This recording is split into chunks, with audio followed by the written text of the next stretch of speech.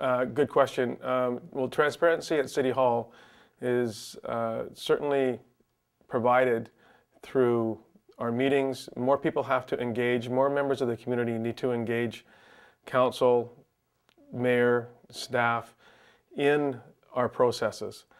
I think that we need to do less work in camera or at least be bringing information that's in camera out of camera so that there isn't the uh, sense of entitlement or privilege at City Hall and that all members of our community, when it's appropriate, that that information is granted to our, to our citizens.